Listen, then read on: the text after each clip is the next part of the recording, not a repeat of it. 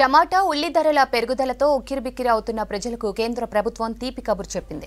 ఉల్లి టమాటాపై కేంద్ర ఆహార ప్రజా వినియోగదారుల వ్యవహారాల మంత్రిత్వ శాఖ కీలక ప్రకటన చేసింది. డిసెంబర్ నాటికి మార్కెట్లోకి టమాటా నిల్వలు వచ్చి చేరుతాయని తెలిపింది. ఉత్తరాది రాష్ట్రాల్లో దిగుబడి పెరిగి ధరలు తగ్గుతాయని కేంద్రం వెల్లడించింది. నవంబర్ ఇరవై ఐదు నాటికి దేశంలో కిలో టమాటా సగటు ధర అరవై ఏడు రూపాయలకు తగ్గనున్నట్లు కేంద్రం ప్రకటించింది. గతేడాదితో పోల్చితే ఈ ఏడాది టమాటా ధర అరవై మూడు శాతం పెరిగిందని అకాల వర్షాల వల్ల సరఫరాపై ప్రభావం పడిందని ప్రకటించింది.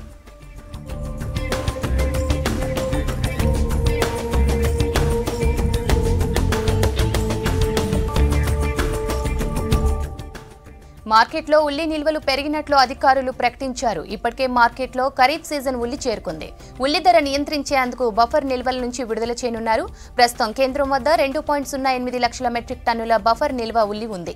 మరోవైపు ధరల నియంత్రణ పథకం కింద రాష్ట్రాలకు యాభై ఇస్టు యాభై నిష్పత్తిలో వడ్డీ రహిత అడ్వాన్స్లను కేంద్రం అందించింది. ఏపీ తెలంగాణ సహా ఆరు రాష్ట్రాలకు నూట అరవై నాలుగు కోట్ల పదిహేను లక్షల రూపాయలను కేంద్రం వాటా విడుదల చేసింది. ఆహార వస్తువుల ధరలను నియంత్రించేందుకు అవసరమైన చర్యలు చేపట్టేందుకు రాష్ట్రాలు నిధులు ఉపయోగించుకునేలా కేంద్రం అవకాశం కల్పించింది.